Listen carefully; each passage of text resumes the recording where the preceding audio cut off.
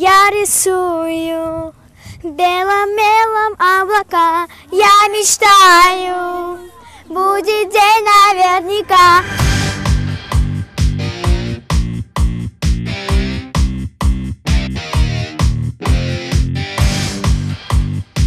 Весной всегда солдатики выходят, строят себе домики под листьями.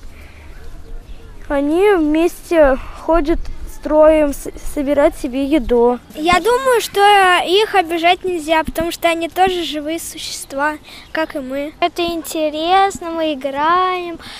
Ну, играем, кто больше кучку наберет. Уточек кормим, белочек. Ну, это интересно нам. Рвать цветы легко и просто детям маленького роста. Но тому, кто так высок, нелегко сорвать цветок.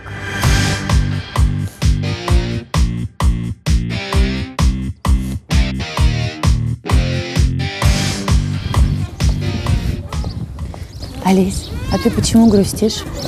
Я такого маленького роста, что даже не могу дотянуться до кормушки. Ты хочешь покормить белочек и птичек? Да, Ну так что грустить? Давай я тебя приподниму, и мы покормим. Согласна? конечно.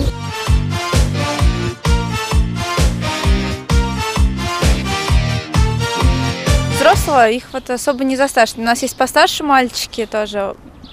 Они не особо хотят выходить на улицу, вот помогают тоже так же играть, даже им вот лучше там посидеть, телевизор посмотреть, а маленькие дети отзывчиво очень собираются, радостно, с радостью очень дети любят, прям, они каждый день спрашивают, когда мы пойдем на улицу, то есть у них сразу улыбка, радость, когда им говорят, что мы собираемся на улицу, они бегом, бегом сразу, они так даже на учебу не торопятся, как вот на улицу. Когда прибираешь в городе и видишь всю эту красоту, на сердце на самом деле становится и теплее, и добрее. И хочется вспомнить о братьях наших меньших.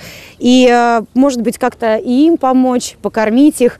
А, Если вы хотите поучаствовать и в этом, позвоните мне по телефону 202 11 22, и я обязательно к вам приеду. Это чисто Самара. Увидимся.